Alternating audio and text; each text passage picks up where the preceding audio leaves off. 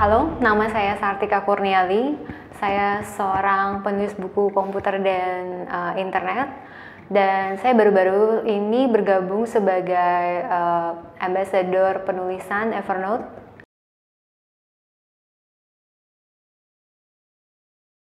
Perwakilan Evernote kemarin bilang ada sekitar 350 ribu pengguna di Indonesia.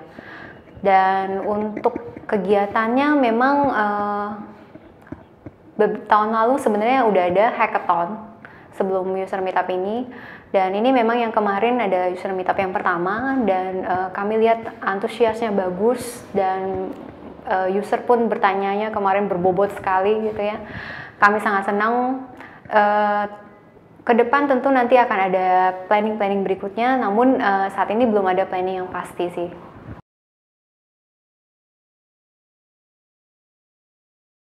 Di dalam buku ini uh, saya tidak hanya membahas penggunaan tekniknya Evernote, tapi juga uh, bagaimana Evernote itu lewat eh, orang-orang uh, di baliknya dan teknologinya juga dan bisnis model, which is uh, freemium tadi.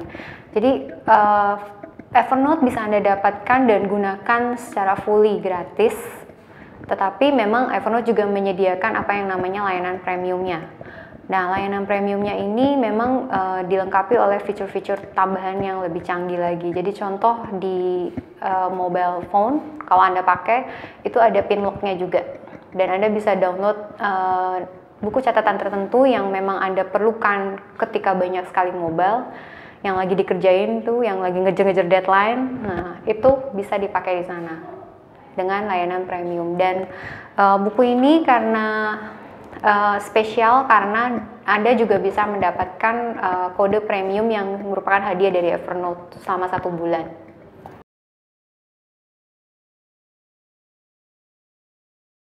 Evernote itu bukan sebuah media sharing file seperti Dropbox yang kita ketahui ya.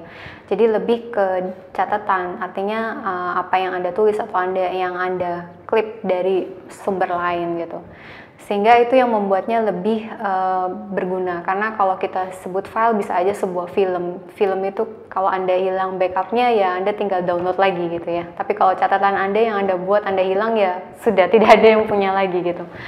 Nah uh, tapi Evernote juga mendukung uh, fungsi collaboration lewat kerjasama. Jadi artinya Anda bisa berbagi buku catatan itu dengan tim Anda ketika suatu mengerjakan satu project. Dan Anda juga sebenarnya bisa attach file ke dalamnya seperti email, uh, tapi memang bukan dalam kapasitas yang besar. Misalkan seperti film itu ya tidak memungkinkan karena memang Evernote bukan uh, sebuah media file sharing.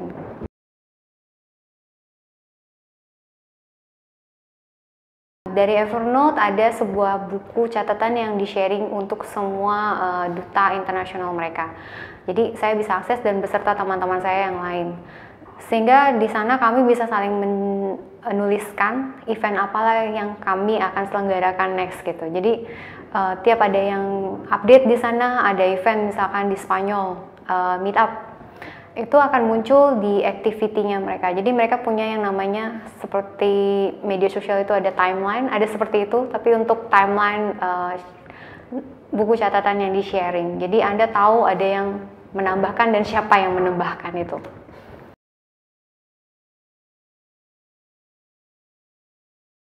Penggunaan Evernote seperti saya bilang sangat gampang karena Anda bisa simpan semuanya, artinya file multimedia pun mungkin, gambar juga mungkin, dan yang menarik gambar juga bisa di search kalau ada teks di dalamnya. Lalu uh, yang kedua memang Anda bisa mengaksesnya itu di mana saja, artinya perangkat apa pun yang Anda punya, uh, hampir semua platform itu Evernote support. Anda tinggal download saja di mana, tapi uh, saran saya untuk maksimal adalah setidaknya Anda uh, install itu juga di komputer karena banyak fitur yang uh, di komputer itu lebih uh, support sekali.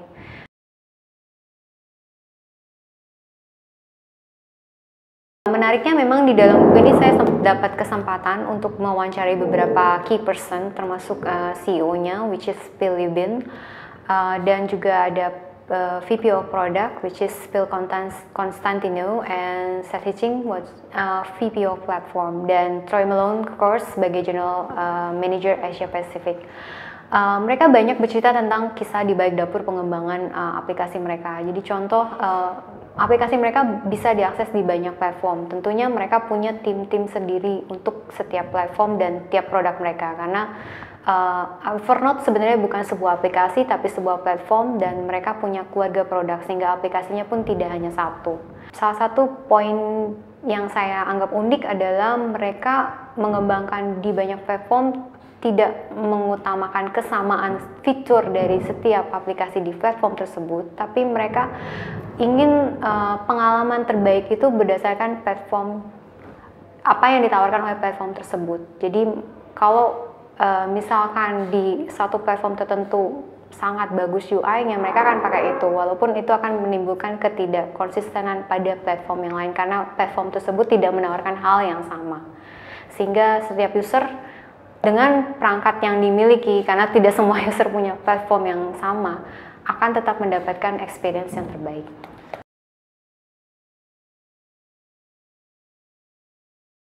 Kalau dari berdasarkan wawancara yang dilakukan, mereka memang melakukan hal itu semua. Jadi artinya uh, mereka eh, sangat-sangat uh, care dengan feedback dari user sehingga mereka uh, melakukan perbaikan dan innovation itu berdasarkan feedback dari user dan uh, perbaikan yang dilakukan pun terlihat karena saya sudah cukup lama menggunakan Evernote dan saya melihat sekali banyak sekali perubahan dan perbaikan yang mereka lakukan untuk mendapatkan user experience yang lebih baik lagi.